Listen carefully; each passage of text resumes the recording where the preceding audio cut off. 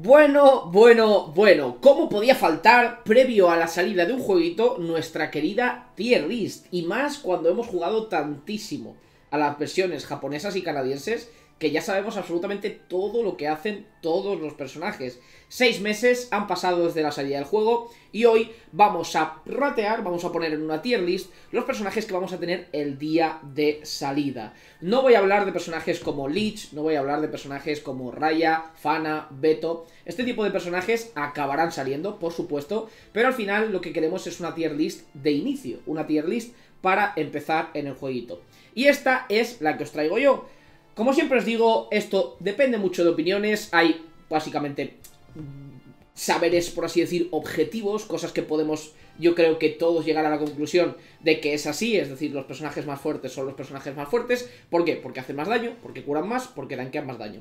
Funciona así, eso es lo que hay.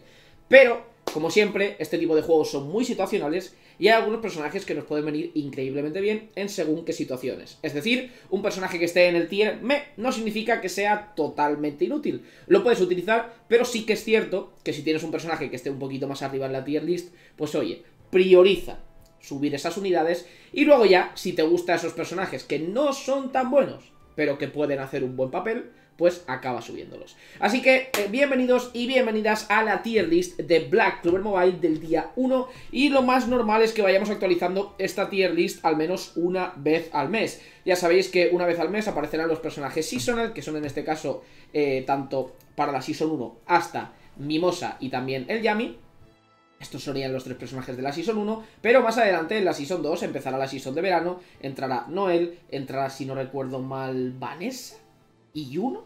No, entrará Noel, Ghosh, que es muy bueno, y Yuno, si no recuerdo mal.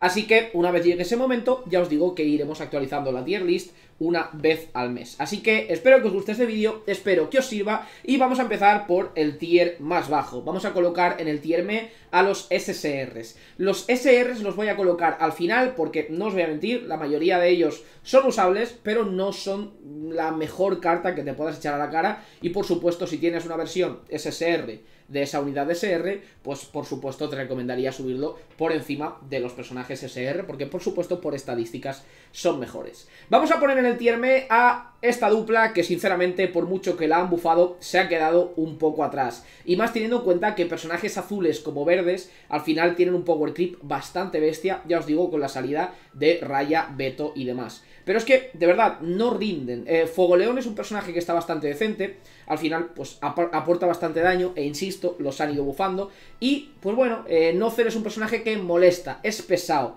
Pero por mucho que los han bufado, sí que es cierto que se les nota que están bastante por detrás, y al final, pues bueno, eh, si por lo que sea te sacas a estos dos personajes, pues enhorabuena, pero es que no podemos comparar a Nozel, que es un debuffer, con Lotus, porque es que, vamos, eh, se queda a años luz. Al final, insisto, no significa que no los puedas utilizar, y más teniendo en cuenta que precisamente estos dos hacen dupla, es decir, hacen ataque combinado eh, especial, vaya. Eh, pero bueno, eh, no son buenos personajes, hay que reconocerlo y ya veremos si los siguen bufando, si acaban siendo algo mejor. Pero a mí personalmente no me terminan de convencer. Pasaríamos con el siguiente eslabón de la tier list, personajes que están decentes, personajes que están bien, porque básicamente son muy especiales, pero... hay versiones, por así decir, mejores de estos personajes, ¿no? Es decir, tendríamos otras alternativas que si las tenemos pues siempre van a cumplir bastante mejor. Estas alternativas serían eh, el un DPS Unitarget como sería Jack, que está bastante bien. Al final DPS tenemos al, al propio Yami Seasonal, que cumple muy bien su función. Y Yami, o sea, Yami, es, perdón, Jack está un poquito por detrás. Al final, pues, este personaje también hace un poquito de daño en área, que si te mete el silencio, que si te mete tal. Y este lo que mete es el sangrado, que es una buena mecánica, pero en general, pues, se queda un poquito atrás. Quizá combinado con el propio, eh, el propio Yami rojo, que al final, pues, hacen combinación, que si uno se beneficia de las habilidades del otro y demás, pues puede ser que estuviese bastante bien, pero personalmente, pues ya os digo, eh, no me parece el mejor personaje azul ni de lejos. Pasaríamos luego con Ril, un personaje que siempre me llamó la atención, eh, siempre tuvo una mecánica bastante interesante, pero demasiado RNG dependiente. Este personaje con la Ultimate es capaz de stunear en área, que es una de las mecánicas más fuertes del juego, pero vas a depender mucho de la suerte, porque bueno, eh, no siempre se va a cumplir esta condición, no siempre vas a poder cumplir este, este suceso, no, se van a stunear todos los enemigos, y depender del RNG en este tipo de juegos, pues bueno, para según qué eventos te puede venir bien, pero no suele ser la mejor idea. Así que Real, un personaje que definitivamente probaré, tengo intención de, echarle unas cuantas horas a este personaje cuando lo tenga, pero bueno, eh, no merece tanto la pena bajo mi punto de vista. Pasaríamos con Leo. Este es uno de los personajes que más he utilizado, pero hay que reconocer, insisto, que como DPS, y más teniendo en cuenta que se está comparando tanto con el Yami rojo como con el hasta Seasonal, pues evidentemente es que se, queda bastante a años luz, y más teniendo en cuenta que el propio Yami Rojo pues iniciará lo que vendría a ser la, siguiente parte de la tier list de personajes muy buenos, porque son muy buenos. Un personaje que tiene self-healing, interesante, bastante bien, que mete burn, combina un poco con este personaje y con más personajes que en el futuro eh, quemarán, pero bueno, eh, es un personaje que te acabará saliendo y bajo ningún concepto me lo quedaría por encima de ninguno de los personajes que van a aparecer por aquí adelante, que son los que ya te puedes plantear quedarte en el reroll. Ya os digo, todos los que van a salir a partir de aquí, quedártelos en el reroll, en el multi repetible, es bastante interesante, ¿vale? Así que tenedlo en cuenta. Pasamos con la siguiente parte de la tier list, empezaríamos con un support bastante decente, pero lo voy a poner por debajo del otro support que tengo en cuenta, que sería William, simple y llanamente porque este personaje no funciona bien con Asta. ¿Por qué? Porque bufa el daño mágico.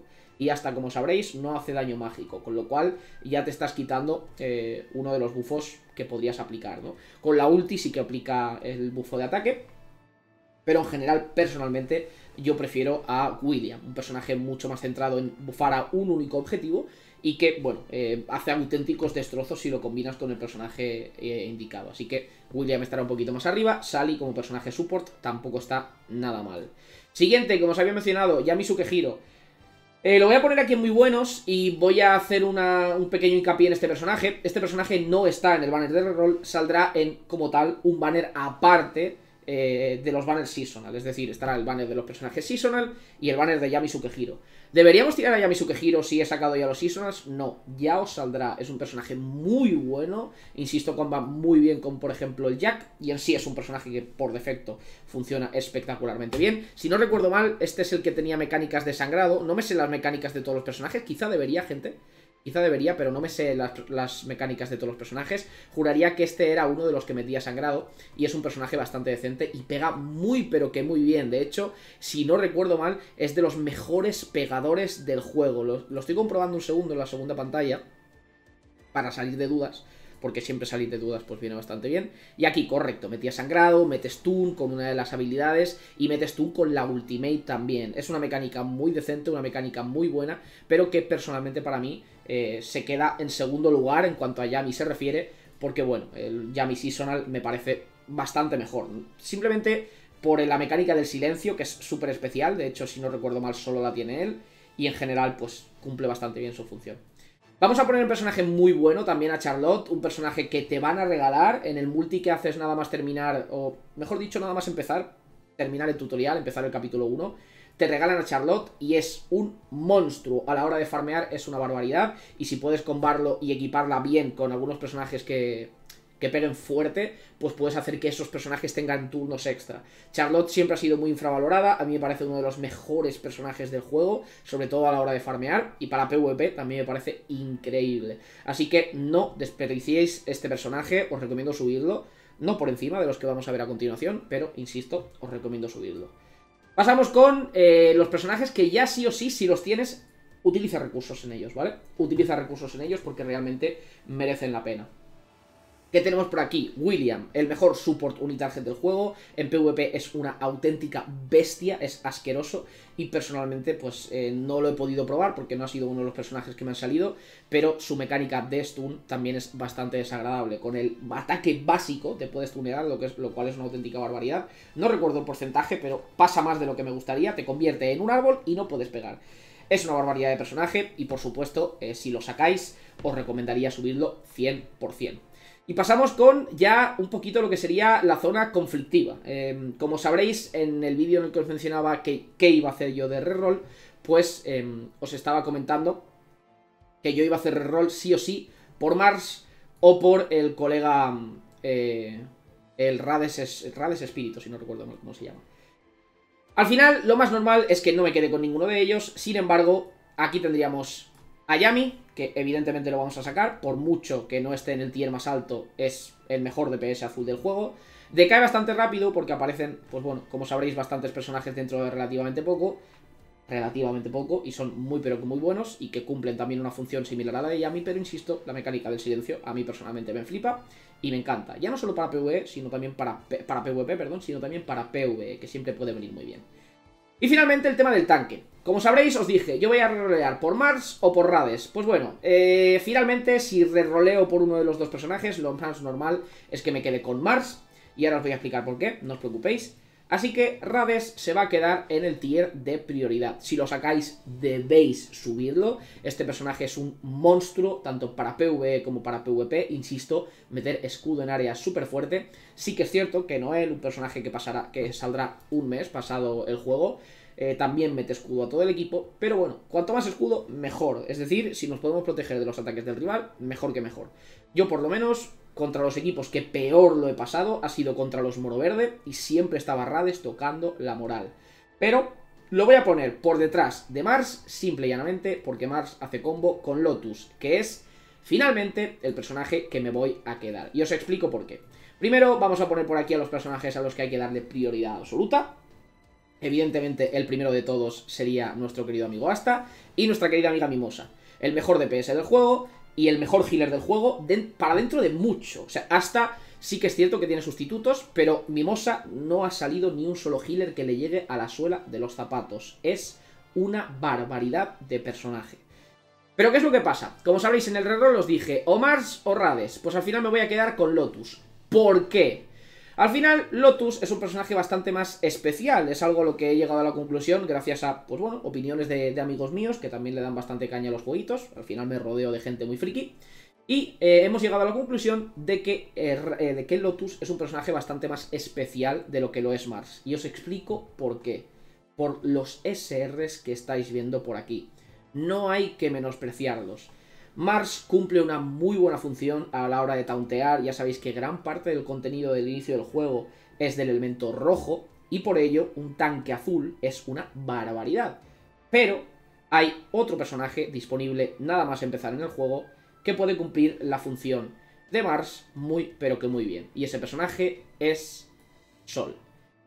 Por ello, simplemente por la existencia de Sol, vamos a priorizar a Lotus, que es un personaje que no tiene ningún tipo de sustituto, y subiremos a Sol. De hecho, subiré un videito explicando qué es lo que hace este personaje en comparación con este y por qué al final he decidido cambiar mi reroll y ese vídeo lo tendréis mañana.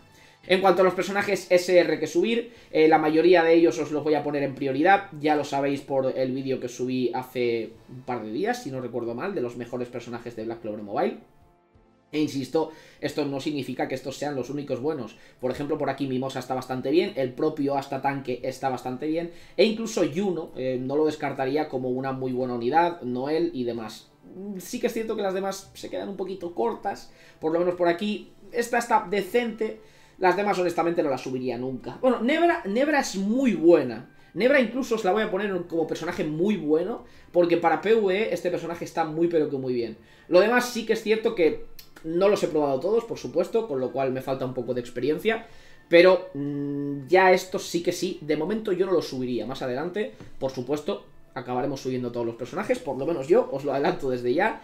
Y eh, bueno, eh, ya veremos si realmente alguno de ellos puede cumplir una muy buena función.